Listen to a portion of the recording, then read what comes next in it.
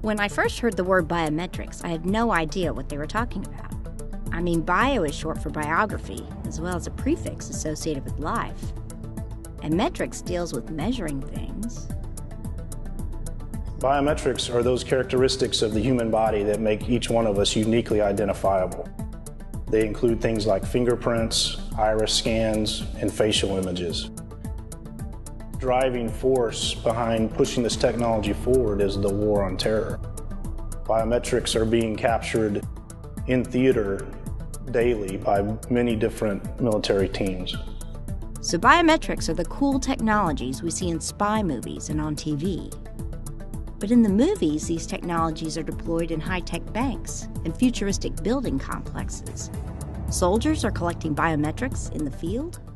The Navy approached Southwest Research Institute to help them further their capability in biometric data collection.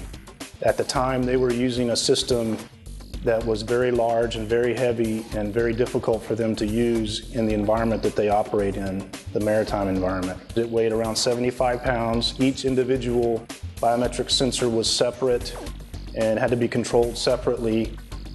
The system that we developed for the Navy was a single handheld system. that was all integrated. All the biometric sensors were integrated into one package and integrated with a, a ultra mobile PC. The second generation of that prototype became smaller than a standard laptop, weighing about five pounds.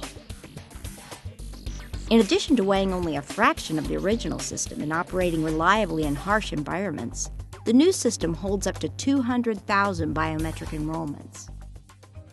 The system that we designed, because it could store such a large database on board, was a real time saver for the teams that were using it because it allowed them in real time to match up against a known database of terrorism suspects without having to wait days, sometimes weeks, to get answers back. The compact and lightweight systems we developed for the Navy allowed them to operate their mission much more effectively and efficiently and reduce the time that they had to spend in dangerous situations.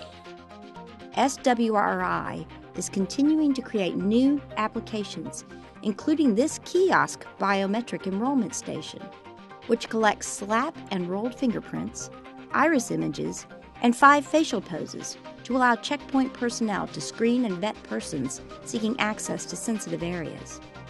The kiosk has user friendly interface software and integrated components for easy maintenance.